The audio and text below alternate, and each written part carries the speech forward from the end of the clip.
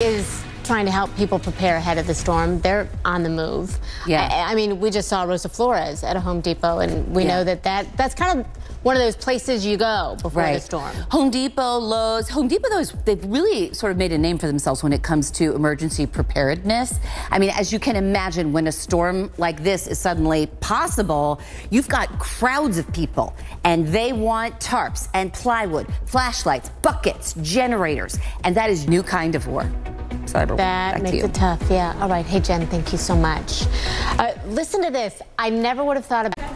Wow. So, I have to ask what Juul and what some of the e-cig companies are saying about this. I mean, you know, it's interesting. The headline is, which is sort of the, the, the big player in all this, and he did an interview with CBS specifically addressing this.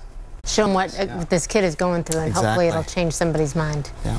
Dr. Sanjay Gupta, we see you. appreciate you. so much. Thank Have a you. great weekend. You too. You too. On deck at the U.S. Open. It keeps me thinking, what was I doing when I was 15? Because I was not doing this. Yeah, I wasn't playing in front of thousands of people. No. I was playing Nintendo 64 by myself, Christi. Yeah, yeah, yeah. Next year, but in the NFL. Would That'd that be quite be- the story. Yes, it would. Nice. Andy, thank you so much. So, scammers, oh my gosh, what a mistake they made. They targeted the police. And of course, you're tailgating. Of course, you are, if you're not watching the game at home, which means food. Lots and lots of food.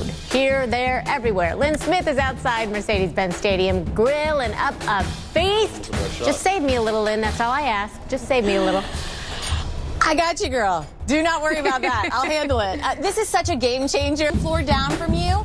So I've got your chicken, I've got your watermelon. You just come visit me after the show, okay? I, I love how you hook me up, and I promise I won't bruise my herbs. I didn't know you could do that. Now I know. Lynn, thank you so I much. got you covered. I know you do, always. Thank you. Lynn Smith there for us, and we want to see your tailgate.